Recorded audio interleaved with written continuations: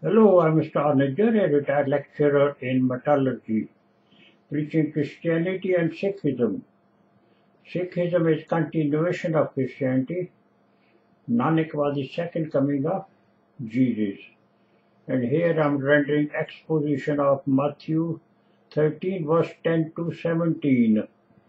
Holy Gospel of our supernatural Father, Elohim, Allah, Parbrahm, etc., delivered by the first anointed Christ, which in Punjabi we call Satguru Jesus, of the highest living God, Elohim, Allah, Parbrahm, etc., that dwells within our temple of God. This temple of God is made by the Lord of the nature, Yahweh, Brahma, Khuda. So this nature is of Yahweh, the Noor is of Elohim, Allah, Parbrahm. Yahweh, Brahma, Khuda, the same thing. So called Harmandir, so this is called Temple of God or Emmanuel. God is with us when this temple is clean of the blood money. Blood money cheating people. When you cheat people, then Satan is in, God is out. That's why when the first church was found, people get rid of the mammon altogether. They sold their worldly possessions and had communal life. And that was ideal, like uh, those who were in the wilderness, Melchizedek type sadhus.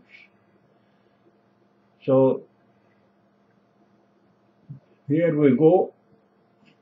The solitary twice born laborers of the four men cried Jesus, the bridegroom, and not the once born disciples of the rabbis, who disciplined them by teaching the moral of Moses, approached Jesus and said, Why do you speak to them in parables? Because unless you are capable of perceiving the oral Torah, you are plying dead letters for your living. So you must perceive, you know, and not say what the other people say. People say, you know, that so many Jews died in Holocaust. A Jew is a spiritual self, not the physical self. Physical self was Judah tribe, Benjamin tribe, Levi tribe, and so and so. So those people who were born, they died in the Holocaust, not Jews. Jew is a spiritual self, never born, never die. Same Sikh, Hindu Sikh in India, so many Sikhs died. No, not a single Sikh died. But the tribal people who were born, they died. So you need to be twice born, capable of thinking logically. Then you can understand parables. He said to them in reply, because knowledge of the mysteries of the royal kingdom of Elohim, Allah, Parbrahm, etc. Now the most people, they don't know the difference between the royal kingdom of God and the kingdom of heaven and hell. That was keys were with the rabbis. So here it is.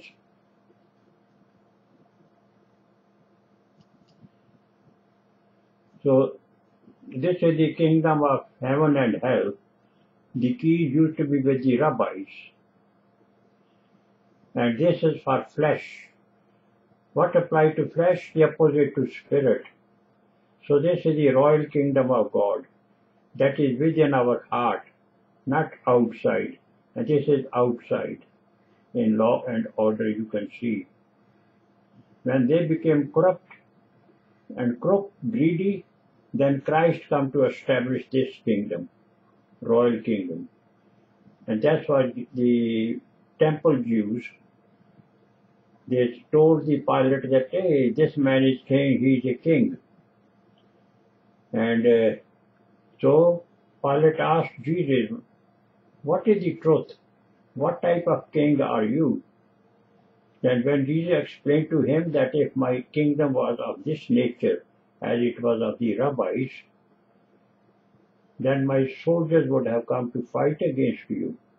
But mine is this one within my heart, not outside. I'm the, the royal king.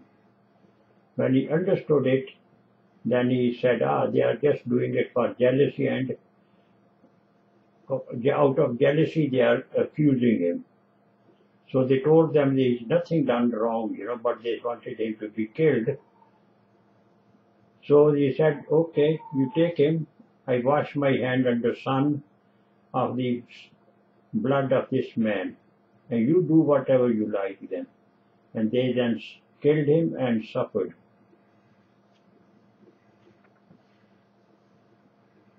So the kingdom of heaven is outside, royal kingdom of God in here.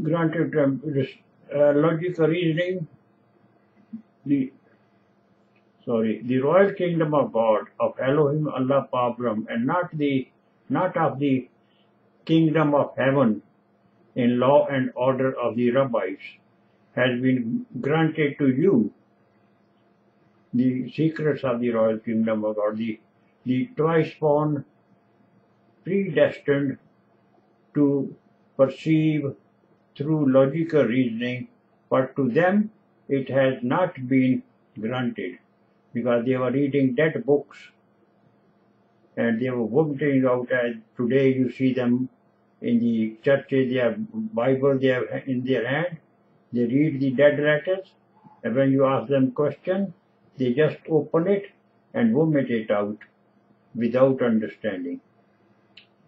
They read the dead letters and vomit them out to their students called disciples. The root of the word disciple is discipline. They see, read the dead letters but not perceive the taproot, oral Torah or his word. Though the dead letters or the law is like a tree. You can see with the two naked eyes, or you can see the uh, law written in books.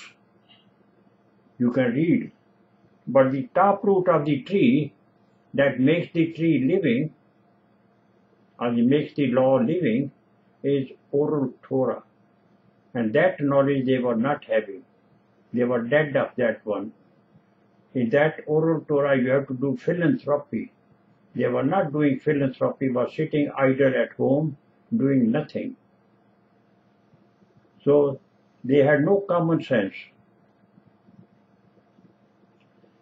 To anyone who has logo, more will be given, and he will grow rich rich in the wealth of our supernatural Father or in the gospel treasures.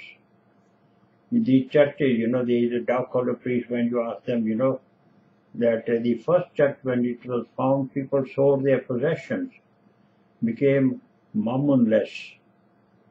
And you work for mammon in the churches, just the opposite.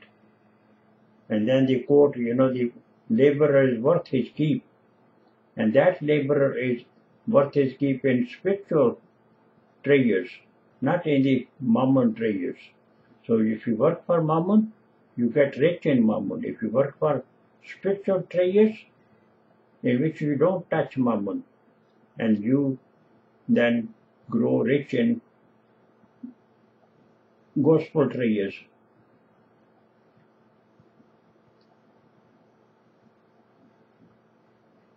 So, oh dear. Read the dead letter, but not perceive the taproot, oral Torah, or his word. To anyone who has logo, more will be given, and he will grow rich in gospel treasures. From anyone who has who has any, oh dear, who has anyone who ha has not, anyone who has not, even that he has will be taken away. You remember that when you don't spend don't spend the gospel treasures by preaching gospel to the general public. You put it under bushel, then what is given to you is taken away.